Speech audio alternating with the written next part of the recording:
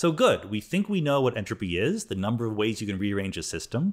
We think it makes sense that entropy increases over time. What we're left to do is understand what this has to do with our experience of time in the everyday world. How does that help explain this asymmetry we have about the past versus the future? This feeling that we have that we're flowing through time.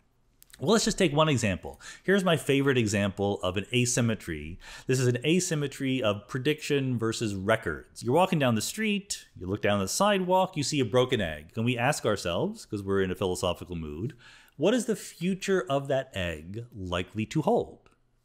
You don't know, right? There's many different possible things that could happen to the egg. It could just sit there. It could be cleaned up by somebody. There could be a rainstorm washing it away. There's many possible futures open.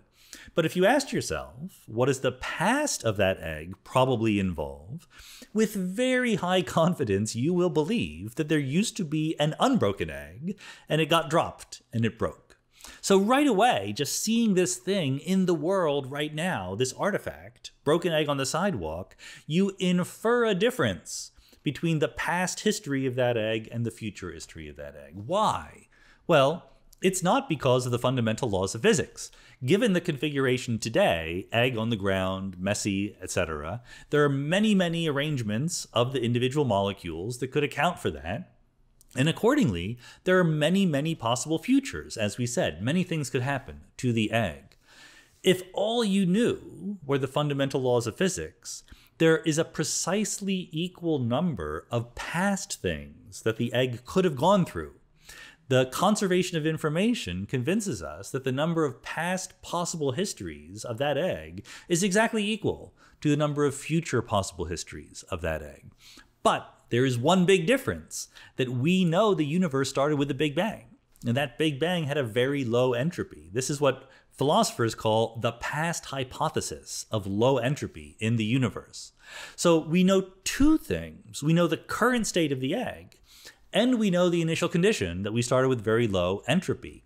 We that's where the imbalance comes from that's where we know a little bit something more about the past than about the future. And we can use that information to say, given the existence of a broken egg on the sidewalk today, and the existence of a very, very low entropy Big Bang, we can infer that there used to be an unbroken egg.